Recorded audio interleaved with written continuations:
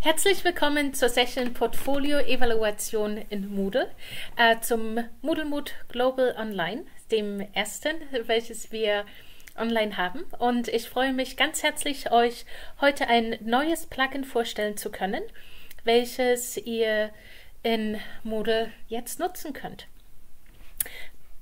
Mein Name ist Christina Höppner und ich bin die Mahara Projektleiterin. Und Mahara ist ein Open Source E-Portfolio System, welches schon seit langem mit Moodle eng verknüpft werden kann. Seit etwas mehr als zehn Jahren lebe ich in Neuseeland und arbeite für Catalyst. Ähm, wir sind ein Open Source Unternehmen, das auch schon seit sehr, sehr vielen Jahren ähm, Moodle Partner ist mit ähm, etlichen Büros über die Welt verteilt und ähm, ich arbeite im Wellington HQ. Mahara, wie schon angemerkt, ist die Open Source ePortfolio Plattform, die sehr gut mit Moodle zusammenarbeitet und Mahara gibt es schon seit 2006. Die Plattform wurde entwickelt als ähm, Kompendiumsplattform im Prinzip zu Lernmanagementsystemen, denn 2005 hatten die Universitäten und auch ähm, einige Polytechnics in Neuseeland ähm, festgestellt, dass ein Lernmanagementsystem nicht immer ausreichend ist, um ähm, auch Studierenden mehr Freiraum zu geben, ihre Lernergebnisse und alles, was sie gern von ihrem Lernen behalten möchten, aufzuzeigen und aufzubewahren. Denn ein Lernmanagementsystem ist häufig mit der Kursarbeit verbunden, aber Lernen findet ja nicht nur in Kursen statt, sondern auch außerhalb ähm, und deswegen wurde Mahara ähm, angelegt. Und ähm, ursprünglich schon mehr als äh, Personal Learning Environment, aber über die Jahre hinweg ähm, kamen mehr und mehr Features hinzu, die auch für die, das Portfolio Assessment interessant sind. Die fünf Hauptaktivitäten für mich im Mahara sind das Create, in dem Inhalte kreiert werden, Lernartefakte erstellt werden, die dann gemeinsam gesammelt werden, um dann zu einem bestimmten Zeitpunkt sie zu kuratieren. Das heißt also zu reflektieren, auszuwählen, was man in einem bestimmten Portfolio darstellen möchte und dann auch zu sehen, wie diese Darstellung erfolgen sollte. Darüber hinaus ist es aber so, dass ein Portfolio nicht nur ähm, von einer Person erstellt wird, sondern man kann auch ähm, Konversationen drum haben, sich mit anderen austauschen, Feedback einholen, sowohl von Lehrenden als auch Studierenden, um die um das Gelernte weiterhin zu verarbeiten und auch noch weiter zu lernen. Mahara ist aber nicht nur ein System, eine Plattform, welches die eigene Portfolioarbeit ermöglicht, sondern auch soziales Lernen fördert, indem Gruppen angelegt werden können, in denen dann auch gemeinsam Portfolios erstellt werden können, ähm, so dass zum Beispiel Portfolios von Lerngruppen gemacht werden können, die dann auch ähm, mit kommentiert werden. Nun, seit doch sehr langer Zeit schon besteht die Möglichkeit, Mahara mit Moodle zu verbinden. Und gewöhnlich reden Leute dann von einem Mahude, von einem Mahara Moodle. Und die Verbindung geht vom Moodle ins Mahara und auch vom Mahara ins Moodle zurück. Bisher wurde das hauptsächlich über das Moodle Networking MNET erreicht, aber seit ähm, circa dreieinhalb Jahren äh, hatten wir auch daran gearbeitet, ähm, ein neueres Protokoll mit zu verwenden, was auf den Web Services basiert, und das ist LTI. Seit 2017 gibt es also die Verbindung für die Authentifizierung von Moodle in Mahara hinein ähm, über LTI. Und ähm, seit und da, darauf basierend wurde dann auch die Assignment-Verbindung hergestellt, sodass man Portfolios direkt von Mahara in Moodle einreichen kann, um ähm, weiterhin die Zensuren dann im Moodle zu haben. Was ich heute vorstellen möchte, ist ein neues Plugin für die Assignment Submission, welches effektiv das momentane Plugin über die Mnet-Verbindung ersetzt. Die Mnet-Verbindung wird weiterhin noch für einen gewissen Zeitraum zur Verfügung stehen. Wir haben jetzt noch nicht entschieden, wie lange und wann sie eher abgebaut wird, dadurch, dass sehr, sehr viele sie noch nutzen. Aber wir bevorzugen mittlerweile doch die LTI-Verbindung und weitere Entwicklungsarbeit wird ähm, daran stattfinden. Nun, die von euch schon mit LTI gearbeitet haben, sind ähm, mit dem externen Tool vertraut und das ermöglicht uns ähm, sofort die Verbindung zu Mahara, zur eigenen Mahara-Instanz herzustellen.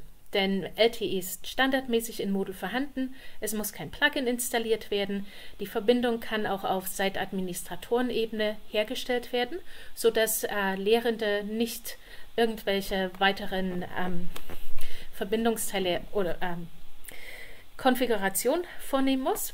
Äh, und das Feedback bleibt weiterhin im Portfolio und kann daher dort direkt weiterverwendet werden. Nun, weshalb sollte man dann mit einem Plugin arbeiten? Das Plugin ermöglicht es, mehr Funktionalitäten von Moodle zu nutzen. Nämlich wird das normale Assignment-Modul von Moodle verwendet, welches viel mehr und viel flexiblere ähm, Evaluationsmethoden zur Verfügung hat. So kann zum Beispiel eine Rubrik verwendet werden, es kann auch ein Marking Guide benutzt werden und auch das Feedback kann direkt im Moodle behalten werden. Was es natürlich sehr attraktiv macht, ähm, wenn man alles, was sich mit einer, was mit einer Zensur zu tun hat, doch in einem in einer Plattform halten möchte und jetzt nicht auf mehreren danach suchen will. Nun, wie sieht die Anbindung aus?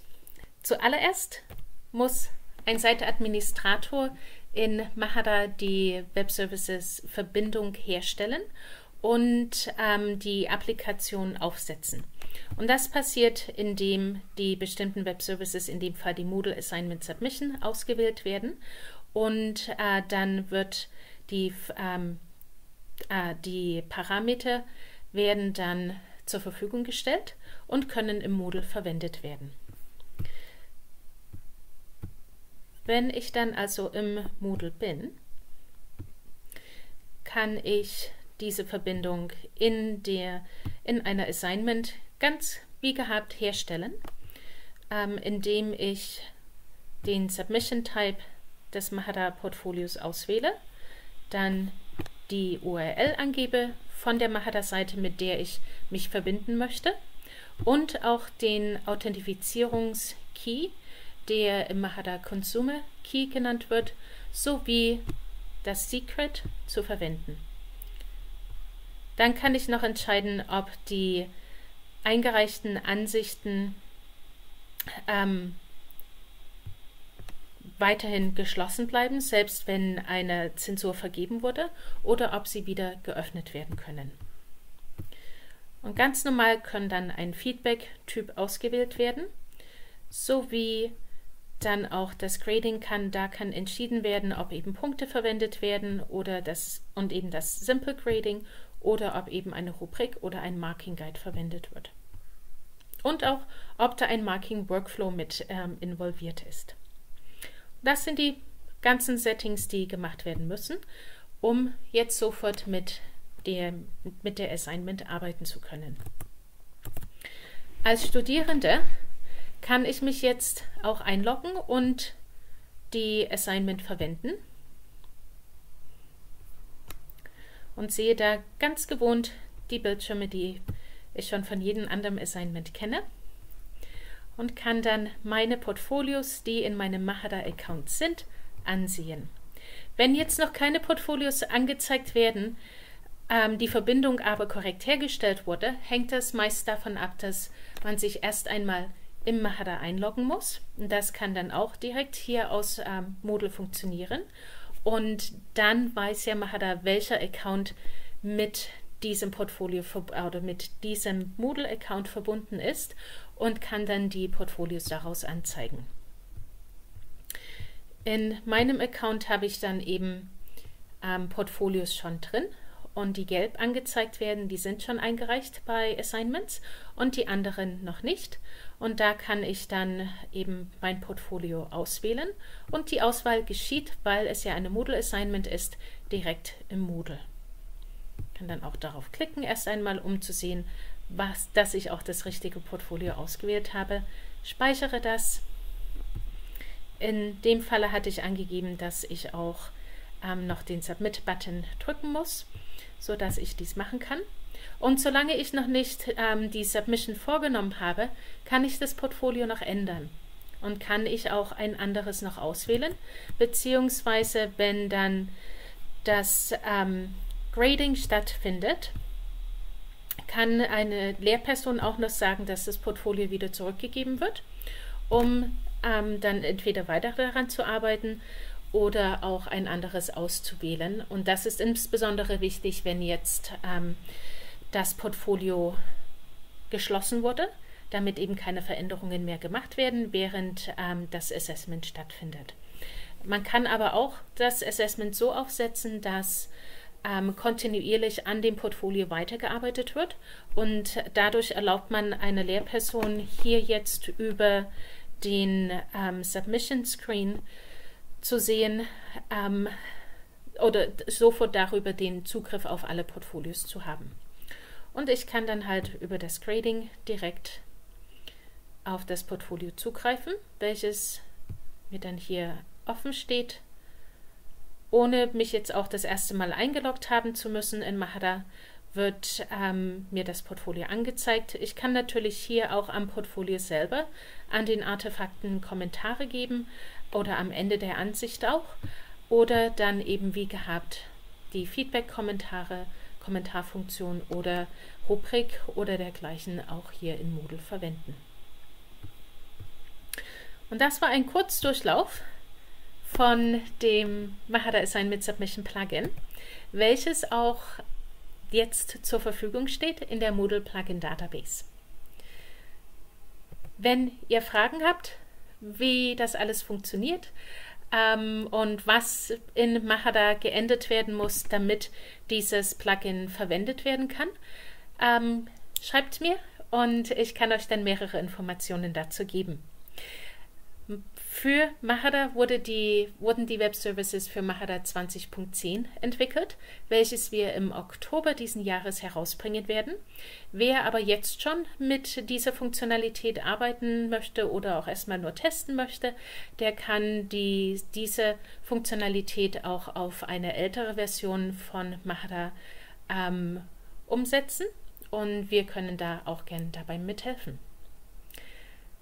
Ich wünsche euch allen jetzt noch ein paar schöne Resttage hier auf dem Moodle-Mood und freue mich äh, von euch zu hören, wie ihr mit der Portfolioarbeit und auch der Evalu Evaluation von Portfolios auf Moodle zurechtkommt.